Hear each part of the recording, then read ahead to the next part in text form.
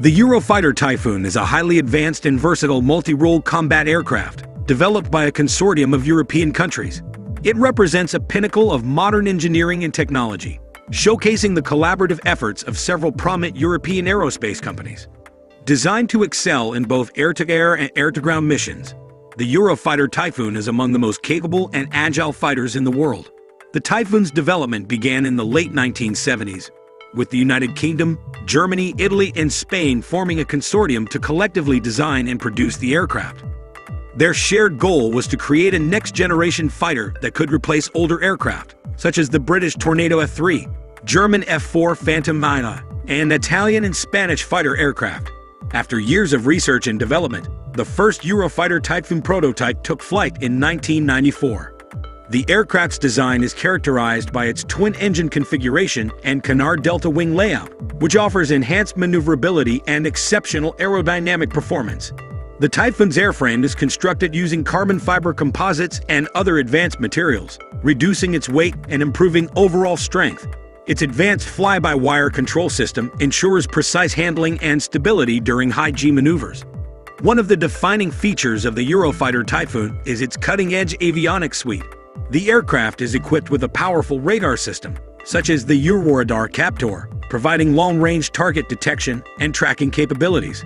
It also features a helmet-mounted display system, which allows pilots to cue sensors and weapons simply by looking at targets.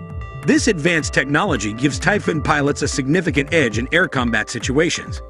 In terms of armament, the Typhoon can carry a wide array of weapons, including beyond visual range air-to-air missiles, short-range air-to-air missiles, air-to-ground missiles, precision-guided munitions, and a 27mm Mauser BK-27 revolver cannon.